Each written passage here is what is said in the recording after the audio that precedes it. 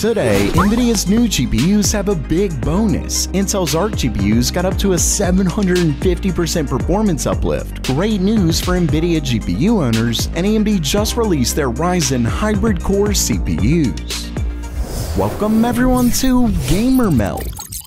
First up for today, we have some great news regarding NVIDIA's upcoming Super GPUs. I'm calling them Super 2.0. So far, we've learned core count for the upcoming cards as well as gotten an idea of price and performance. But today, we actually learn about power consumption. And as you can see from the Resident Leaker Kopite 7 Kimi, NVIDIA's upcoming super cards will have the same power consumption over their non-super counterparts. So even though we see a boost in performance, actual TDP will remain the same. That is for the 40 4080 Super and 4070 Ti Super, because he later clarifies that the regular 4070 Super comes at 20 watts more than the regular 4070. And that makes sense given the 4070 Super has the biggest jump in cores over the regular GPU. Still, I definitely like to see that most of the cards aren't getting some big jump in power draw. But if there's something everyone should like, it's learning all about computer science from this video's sponsor. Brilliant, the number one place I go to learn more about computers, like their new course on LLMs or large language models, the type of AI model that powers all the best chatbots like ChatGPT, Google Bard, and more. They teach you all about it in their new course. If that's not something you're into, they've got courses on pretty much anything you could want, from programming to search engine, PC memory, and everything in between. But the part I love most is that they actually teach you by having you get in there and do it yourself with these fun and engaging puzzles. So no more listening to boring lectures or anything like that, and it makes learning complex topics easier than ever. To top it all off, they're now offering my viewers a 30-day free trial when you sign up at brilliant.org slash gamermeld. Plus, when you sign up at brilliant.org slash gamermeld, you can get 20% off their premium membership for life.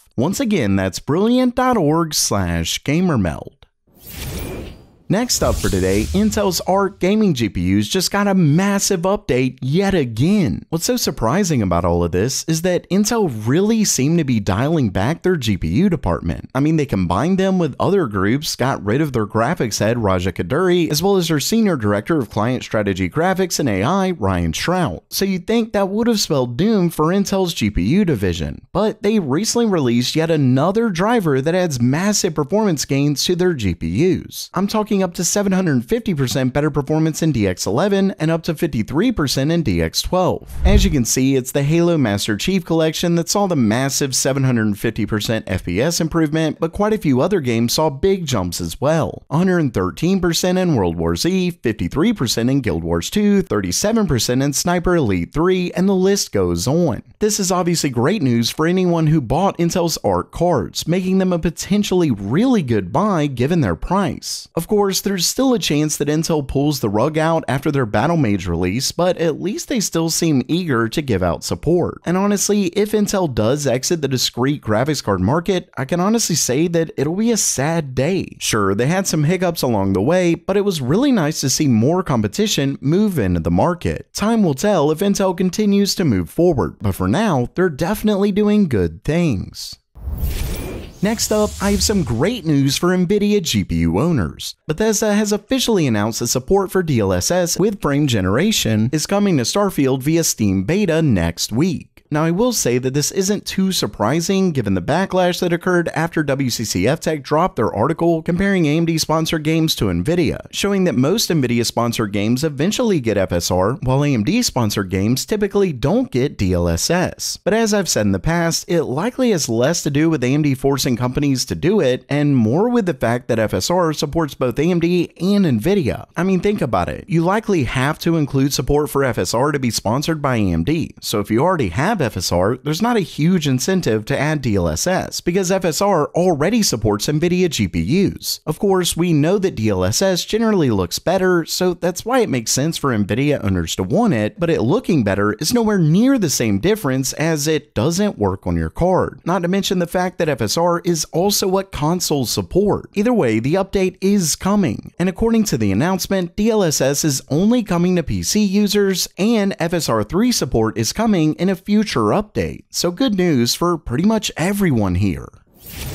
And lastly for today, AMD just announced new Ryzen CPUs with hybrid cores, and they're seriously impressive. In fact, AMD announced a ton of new details on their Zen 4C efficiency cores, which shed some light on the new technology. As you can see, AMD makes some pretty major claims when comparing their hybrid architecture cores to Intel's. For starters, Zen 4 and Zen 4C both use the same instruction set, unlike Intel's, so they have the same IPC. Zen 4C has multi-threading, it also apparently doesn't require an OS scheduler like Intel's, meaning Windows doesn't have to pick and choose the best cores during operation, leading to potential points of where the CPU doesn't perform as well. So Zen 4C does have some pretty nice positives going for it when compared to Intel though of course Intel's efficiency cores are quite a bit smaller. When it comes to performance, you can see the CPU with Zen 4C cores does much better at lower wattage. And obviously if they're able to include more cores in the higher end parts, it'll end up being better performance at the higher end as well.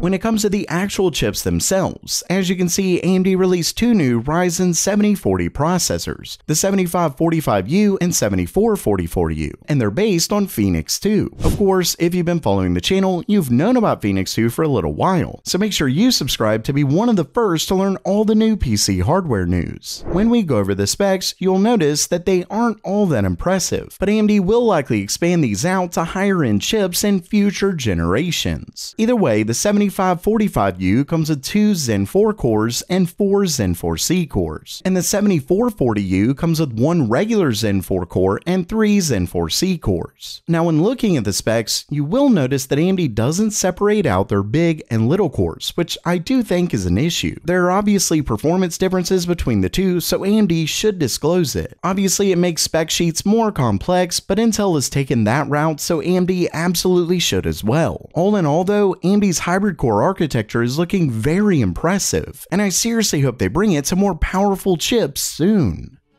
So while that does it for today, are you pumped for AMD's hybrid core CPUs? Let me know down in the comments below. And don't forget to try out Brilliant for free at brilliant.org slash gamermeld. And as always, have a great day.